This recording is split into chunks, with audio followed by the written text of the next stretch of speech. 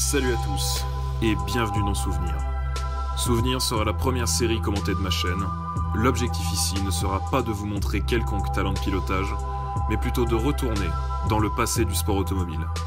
Via des simulations modées comme Race 07 ou GTR2, je vous présenterai des saisons ces talents du milieu des années 90 avec les débuts du super tourisme jusqu'aux années 2000. Nous partirons à la découverte des pilotes et des teams ayant marqué l'histoire de ces saisons. Pour ce premier épisode, nous commencerons sur Race 07 et sur le mode retraçant le British Touring Car Championship 1994. Place à la course.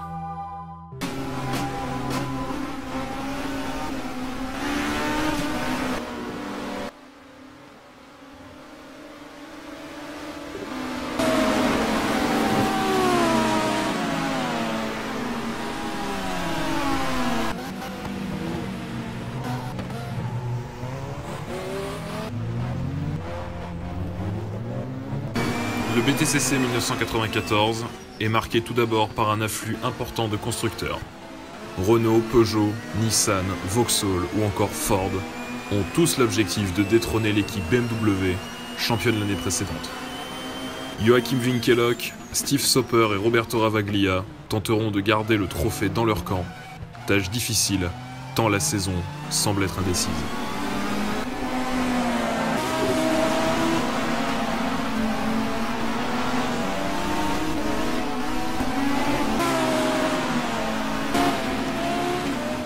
Quelques changements sont à signaler dans les équipes de pointe. La vieillissante Renault 19 a laissé place à la nouvelle Laguna. Volvo est de retour avec une méthode bien différente des autres constructeurs. En effet, les Suédois misent sur l'efficacité de leur break 850. Pour piloter ces énormes boîtes à chaussures, le très efficace Ricard Reidel et l'ancien pilote de Formule 1 Yann Lamers seront alignés sur toute la saison. Les valeurs sûres sont elles aussi présentes. Julian Bailey chez Toyota, John Cleland chez Vauxhall ou Paul Radici chez Ford tenteront de se mêler à cette bataille féroce. Alfa Romeo fait aussi son apparition avec de nouvelles 155 confiées à Gabriele Tarquini et Gian Piero Simoni. Les modèles utilisés sont basés sur la 155 Silverstone, version modifiée du modèle de série, équipée d'un aileron et d'une lame avant spécifique, qui ne manqueront pas de faire polémique. Alors qu'on ne les pensait que simple outsider, l'équipe Alfa Romeo frappera un grand coup d'entrée de jeu. Les trois premières pole positions sont signées par les berlines italiennes et Gabriele Tarquini remporte les cinq premières courses de la saison. Le contournement du règlement par Alfa Romeo ne plaît pas à tout le monde, et l'organisation finira par autoriser les éléments aérodynamiques sur toutes les voitures à partir de la mi-saison.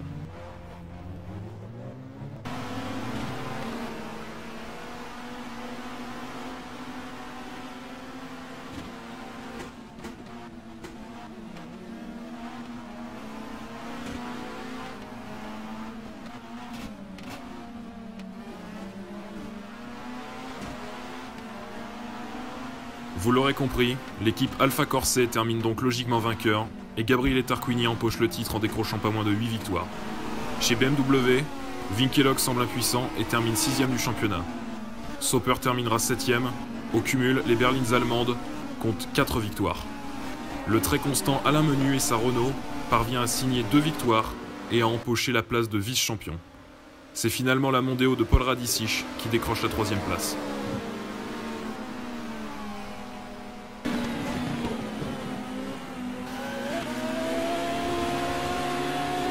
C'est hélas un maigre bilan que retiendra Volvo. Reidel 14e et Lamers 15e ont fait face à d'importantes difficultés durant cette saison. Chez les constructeurs japonais, le bilan n'est guère meilleur. Julian Bailey place la Toyota au 12e rang final. Le pire vient de chez Mazda avec une interruption du programme à la mi-saison.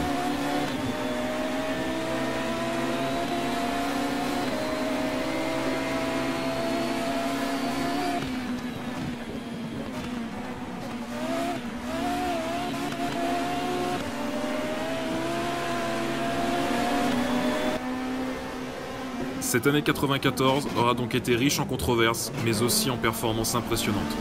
Le super tourisme avait sans doute encore de beaux jours devant lui, avec autant de constructeurs présents, autant de pilotes mythiques et autant de circuits fabuleux à parcourir. La réglementation va séduire plusieurs championnats.